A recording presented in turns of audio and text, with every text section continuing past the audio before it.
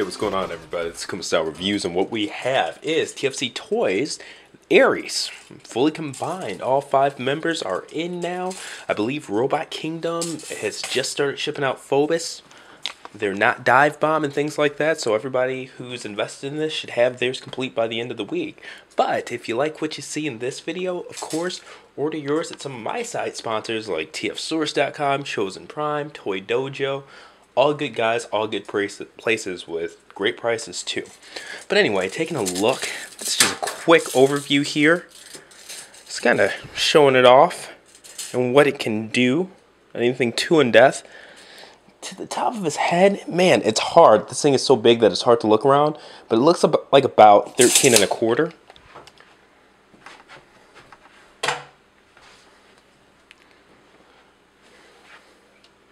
Really impressive wingspan too. So just getting this turned around back. You can also see a couple of, I'd say, fan things that I've done. Alright, so on the legs, what I did, I their feet are supposed to, by the instructions, be flipped up, but I actually kept them down to keep them more stable.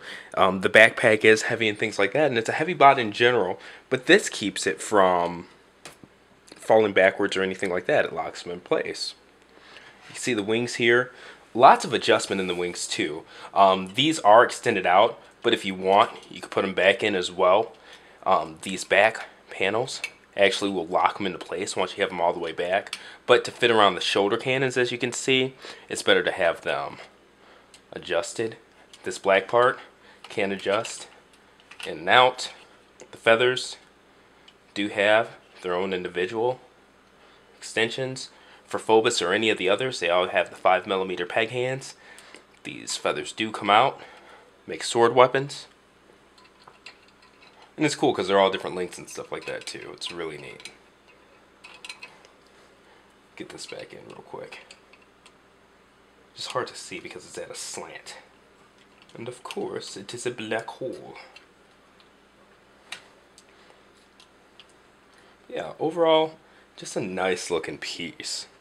So another thing that I did with mine, I actually learned this from a couple of members on TFW, just to give him some more spacing in the legs for that A stance. Um, these thighs on Neiman, they're actually supposed to be just straight, 90 degrees out, but instead I have them angled down a bit. Just make them a little bit longer, give the legs a little bit more of a natural A. Other than that, it's pretty much transformed by the book. Now, his cannon does light up.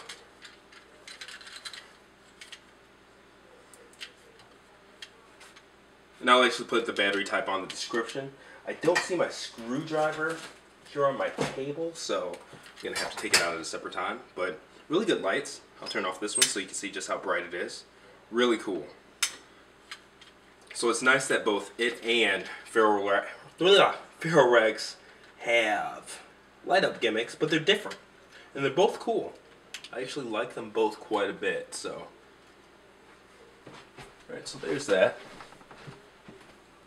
Now he does have the separately articulated fingers, but his sword does have pegs that tab into holes on the inside of his hands has three options. Top option seems the one that I can make work the best. One thing I do like about him that's different from any combiner I've seen to date. This one, the two arm, the two arms, actually the torsos extend when you transform them into arm mode and reveal a separate ratchet joint. We're used to seeing that whole, unless it's Devastator because it comes with the separate like forearm pieces and stuff like that, where the limbot, his thighs, and um, knees will be the bicep and elbow. So it's nice that it has an actual bicep and elbow joint built in. It's a really strong ratchet as well, so good articulation there. Alright.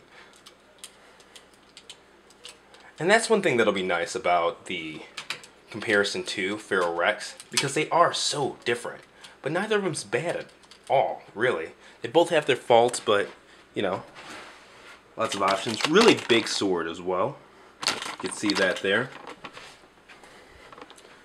Now, I actually got mine all at once, which is good, but at the same time, you have to learn the whole set all at once. So I'm not the best at posing this thing, not gonna lie.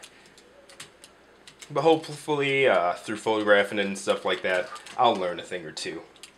But so far, so good. One thing that I wish that was different about it, for both the feet and the hands, it uses these connector pieces. And they're all the same. But when it comes to the hands, the feet, it's nice because it naturally weighs down in to the peg.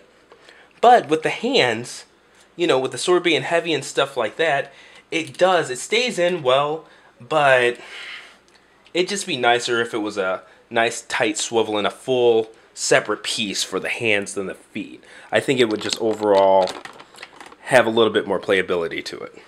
So the shoulder cannons can extend in and out. I believe we're actually outside of my camera range here. But overall, nice set, big set. And see what I mean with the um, with the hands there. And of course I can go ahead and, you know, polish it and things like that, that peg, tighten it up. But I, I do wish that it was a different connector in general. Get that back.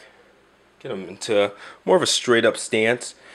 Also, there's been a bit of back and forth about whether he has thigh swivel or not. In my opinion, he doesn't. You could turn him at the connector point where and I just showed off some of the knee bend and stuff like that, but where the legs actually combine in, but they're octagonal ports, so you only get 45 degrees, 45 degrees, 45 degrees, instead of a lot of those more slight bends that you just want to do to make them look more natural. And there you have it. That is TFC, their Ares. Homage to G1 Predaking. Pretty awesome set. Once again, look forward to comparing it to Feral Rex. If you like what you see, order yours today at tfsource.com, toydojo.com, chosenprime.com, any of our friends and sponsors. Thank you guys for taking a look at this and look forward to looking forward to that comparison